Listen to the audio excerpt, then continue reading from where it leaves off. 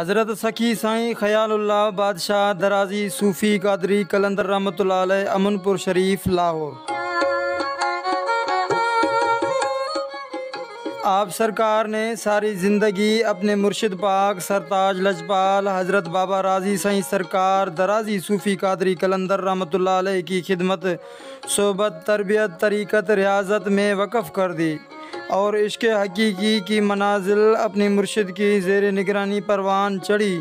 आप सरकार साईं ख़यालुल्लाह बादशाह दराजी साहब ने बहुत ही छोटी उम्र में ही मार्फत और तसोफ़ की भी मंजिल तय कर ली थी।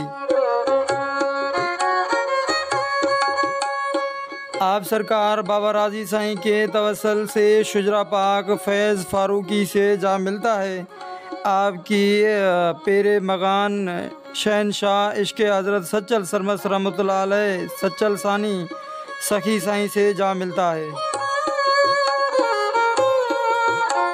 आप सरकार, हज़रत सखी साई, ख़यालुल्लाह बादशाह दराजी साहब, तकरीबन 16 साल की उम्र में सिंध चक शहबाज से लाहौर अपने मुर्शिद पाक बाबा रायजी साई सरकार दराजी रहमत के पास तशरीफ़ ले आए थे।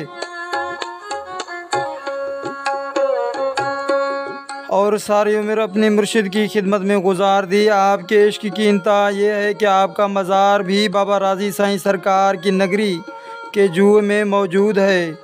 अमनपुर शरीफ, लाहौर में वाक़ है। आप सरमस दरवेश फ़कीर हुए हैं। आप सरकार, बाबा राज़ी साईं सरकार, दराजी सूफ़ी कादरी, कलंदर रहमत के तमाम तसनीफ़ात के कातिब हैं और तमाम कुतुब को तरतीब दी। आप सरकार की कुतुब के नाम हाल इश्क, इसम ज़ात, जिसम फ़कीर फ़रहतुल्फ़कर दीवान दर्द इश्क, पहचान हक, राजुल हकीकत। राजुल हकीकत जो कि साईं ख़यालुल्लाह बादशाह दराजी साहब की लाइब्रेरी में मौजूद है, शाया नहीं हुई है।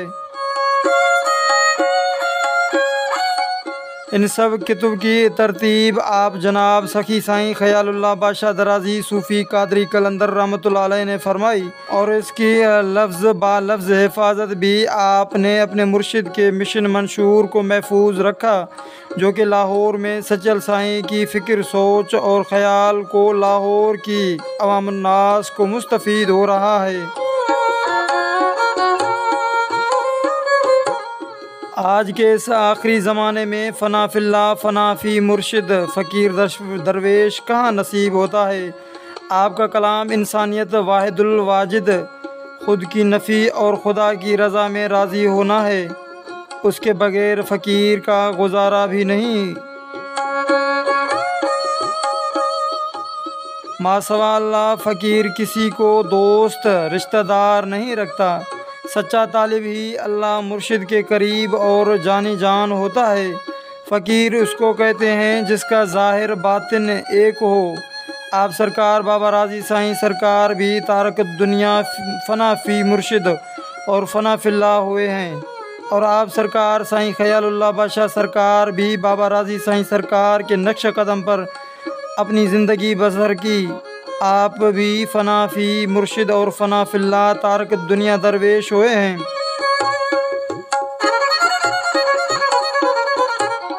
और आप अब जेर साया मुर्शिद की दरगाह के पास आखिरी आराम फरमा रहे हैं। आपका रोज़ा मेरे परदादा मुर्शिद राज़ी साईं सरकार के रोज़ा के करीब है। मौजूद है अमनपुर लाहौर शरीफ।